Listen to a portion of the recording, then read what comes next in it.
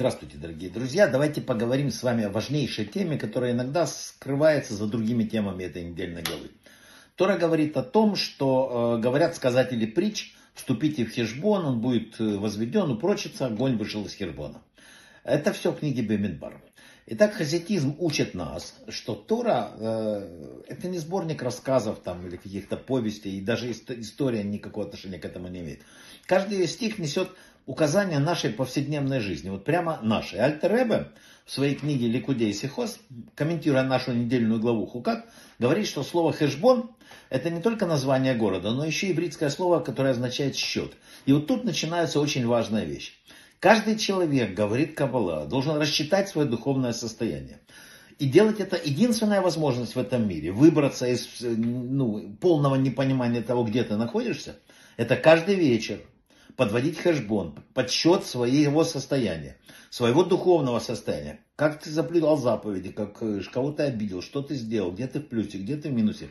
Тора говорит, что для того, чтобы счет был в нашу пользу, нужно еще что? Обязательно, чтобы огонь вышел из хешбона. Что это значит? Что хотя бы одна заповедь, уже не говоря обо всех, хотя бы одна заповедь была исполнена, ну, судово, сердце туда было вложено. Это написано, склоняет чашу весов и перевешивает остальные без прохлады, так сказать, выполнено и так далее. В этом суть хасидизма, кстати. Однажды спросили у Балшемтова, э, который является основателем хасидского движения, а для чего вообще нужен хасидизм? А в те дни большинство евреев э, Европы были религиозными, они знали заповеди, ходили. Слушайте, вообще не было понятия такой особо атеист, кто такой не знали. А что могло тогда добавить еврейскую жизнь вот это движение хасидизма? И Балшемтов ответил, как всегда, он отвечал притчей. Жил когда-то один ювелир, у него был ученик, он его научил, в общем, блестящий ученик. И золотых, золотой человек. И вот однажды к ювелиру пришли придворные короля и попросили порекомендовать мастера для должности придворного ювелира. Он с удовольствием порекомендовал своего помощника. Тут не прошло несколько дней, как ученик вернулся к нему и говорит, что это проклятие какое-то, ничего не могу сделать.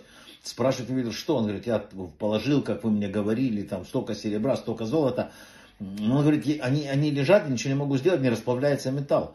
И тогда спрашивает его учитель, «А огонь ты зажег в печи? И ученик смотрит на него, как маленький ребенок. Вот это не додумался. Так и я сказал Болшемтов. Я, все знают, как надеть твилин, знают, как завернуться в талос, как молиться по Сидурову. Но я пришел, чтобы зажечь огонь. И вот с тех пор огонь и горит. И так вот, знаете, написали мудрецы, что самое важное, вот это вот, это хижбон нефеш.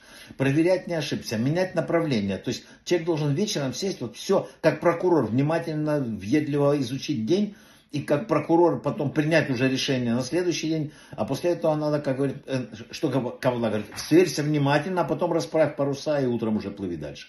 Это, э, так говорили мудрые. Ну. Поэтому еще раз говорю, говорили рассказчики притч, придем в Хэшбон. Да? И Сефер Харидим приводит от имени книги, великой книги Кабалы Заар, комментарий к этой фразе, что говорит, что обязан человек, не просто это там может быть, хочется, обязан человек заниматься самоанализом перед отходом ко сну, иначе ничего не получится.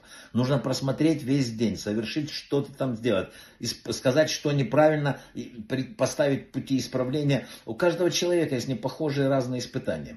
Один сталкивается с экономическими трудностями, у второго, не дай бог, с детьми, у третьего, не дай бог, в семье, у третьего здоровье и так далее. Это не имеет значения. Надо сказать, что всегда, когда слышишь об испытаниях, у других, да, ты говоришь, испытание, это надо его выдержать, но когда беда приходит, не дай бог, к кому-то, к тебе самому, да, не всегда удается так вот спокойно к этому отнестись, даже выстоять. Хотя написали мудрецы, что не бывает испытания, которые даны человеку, и Всевышний не, не дал силы, потому что не, не насмехается Всевышний над своими творениями.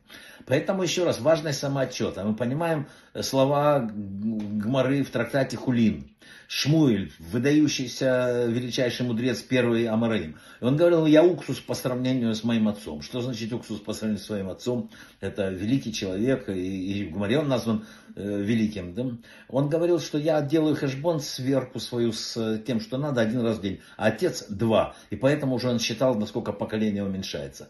Поэтому каждый умный, каждый считает, что он все знает. Но если честно, отключив э, внешние раздражители, там, телевизоры, компьютеры, 5 минут для этого вечером найти или когда лег спать перед этим, то человек может найти такие серьезные ошибки, даже в кажущихся хороших делах.